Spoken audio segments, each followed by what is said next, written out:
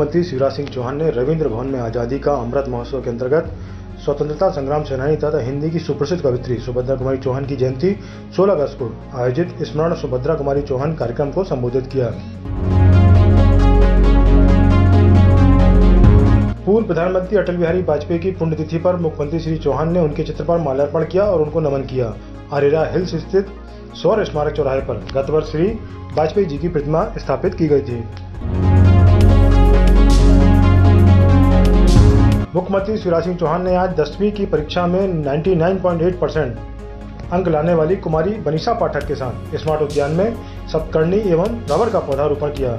इस अवसर पर मुख्यमंत्री ने कहा कि इन्हें आगे बढ़ने के लिए किसी भी सहयोग की आवश्यकता पड़ेगी तो वह हम करेंगे। भोपाल कलेक्टर के अनुमोदन पर कुमारी बनीसा पाठक को मुख्यमंत्री कोविड 19 विशेष अनुग्रह योजना अंतर्गत चार लाख पचास हज़ार की राशि स्वीकृत की गई है। वर्तमान में बनीसा अपने छोटे भाई के साथ डॉक्टर अशोक वर्मा, डॉक्टर श्रीमती भावना शर्मा, मामा मामी के साथ रह रही है।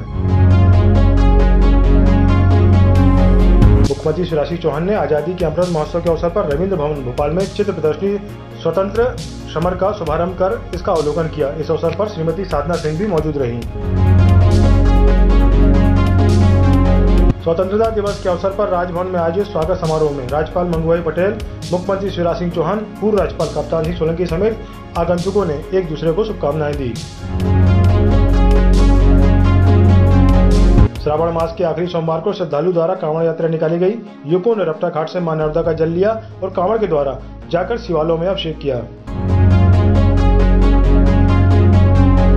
एफ़ 148 वाहिनी कैंप परिसर मोतीनाला जिला मंडला में सीआरपीएफ एवं हॉक पुलिस बल मध्य प्रदेश के द्वारा पचहत्तरवा स्वतंत्रता दिवस बड़ी धूमधाम से मनाया गया। इस दौरान विभिन्न प्रतियोगिताओं का आयोजन भी किया गया। पटवारी का स्थानांतरण रुकवाने के लिए ग्रामीण जन पहुँचे कलेक्ट्रेट। पटवारी रणजीत उलारी, जो कि ग्राम रामपुरी ढीलवाड़ा, घटनी पदस्थ है, उनका स्थानांतरण बिछिया कर दिया गया है। स्वतंत्रता संग्राम में देश के लिए अपने प्राणों को निछावर करने वाली वीरांगना रानी अवंतीबाई लोधी की जयंती पर लालीपुर स्थित उनके प्रतिमा स्थल पर लोगों ने उन्हें श्रद्धांजलि दी और उन्हें नमन किया।